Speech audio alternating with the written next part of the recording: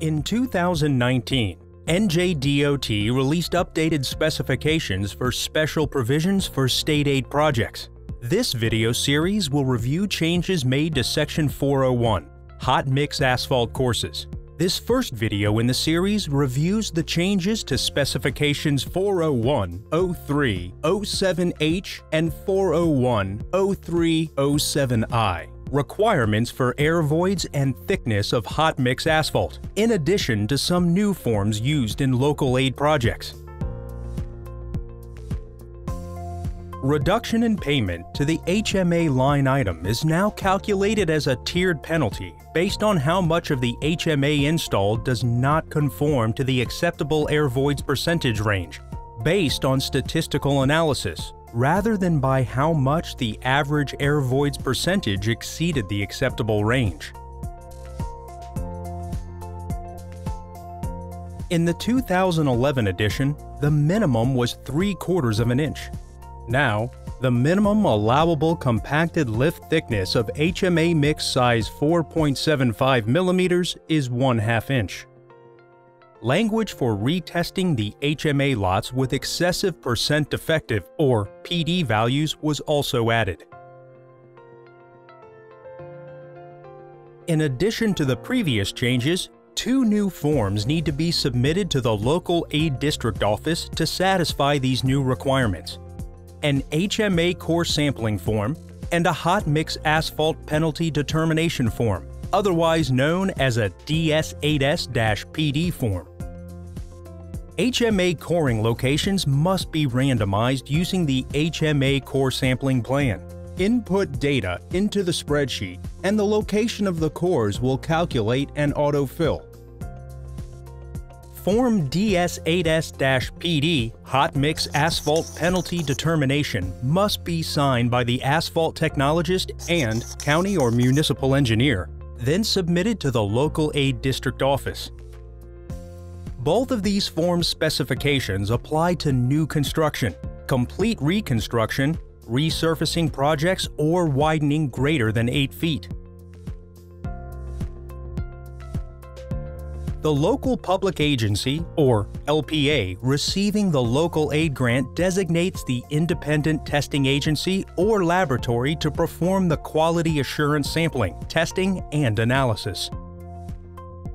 The laboratory uses five 6-inch diameter cores taken from each lot in random locations, at least one from each travel lane, to determine thickness of and air voids within the HMA. The acceptable range of air voids is 2 to 8%. Acceptable thickness is determined using the design thickness. The HMA core sampling plan form is used to identify core sampling locations, and Form DS8S-PD hot mix asphalt penalty determination is used to calculate the air void and thickness penalties for any HMA lot. How do you determine if air voids or pavement thickness are outside of the acceptable range? The laboratory will calculate the percent defective, or PD, and report its findings on the DS8S-PD form. PD is the amount of the HMA lot that is outside of the acceptable range. The laboratory will take the average, also called sample mean or X-bar, of the test results from the five core samples, and then calculate the standard deviation for the data. Then, they'll calculate the quality index or Q. For air voids testing, the laboratory will calculate an upper and lower limit of Q, QU, and QL using 2% and 8%, the upper and lower ends of the acceptable range of air voids. Q values for thickness testing are calculated using the design thickness. Those Q values are used to find a total PD value using statistical table ST5 in the back of the standard specifications for road and bridge construction 2019. Air voids testing will result in two PD numbers, one for QU and one for QL. Add those together to get the overall PD. Break out the ones and tenths place of each Q value and find it on the leftmost column of the statistical table. Then break out the hundredths place of the Q value and find it on the upper row of the statistical table. The intersection of these rows and columns is the PD value corresponding to each Q value.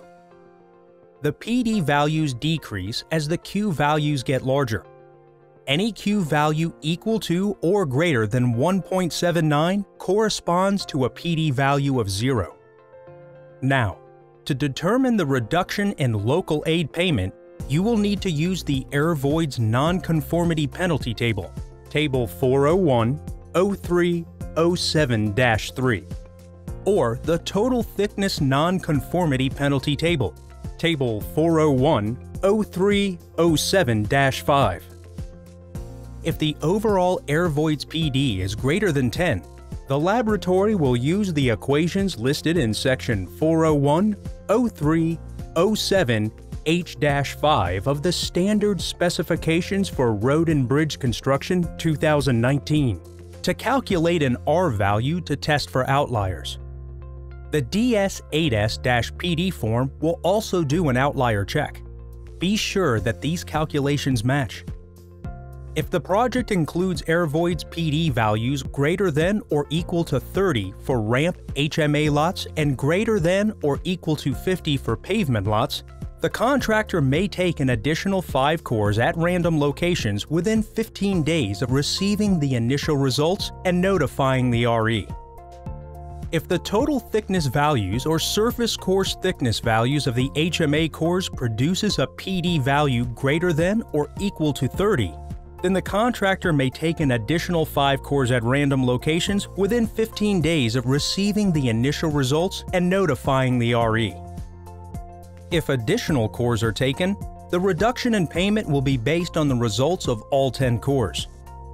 If the PD of any HMA lot is greater than 75% for air void requirements, the entire lot must be removed and replaced by the contractor with no additional reimbursement for that lot by the local aid grant. For new construction, complete reconstruction and widenings greater than 8 feet if a PD value for total thickness is greater than 45% or greater than 30% for surface thickness, then the entire lot must be removed and replaced with no additional reimbursement for that lot by the local aid grant. The only thickness requirement for resurfacing projects is a compacted average thickness of at least one and a quarter inch. Again, be sure to use the DS8S-PD Hot Mix Asphalt Penalty Determination Form to calculate the air voids penalty and thickness penalty for HMA coring data. The form must be signed by the asphalt technologist and the project county or municipal engineer. To learn more about other changes made in the 2019 update, be sure to check out the other two videos in this series. For more resources and information on the updated special provisions, you can visit the NJDOT Local Aid Resource Center or the NJDOT website.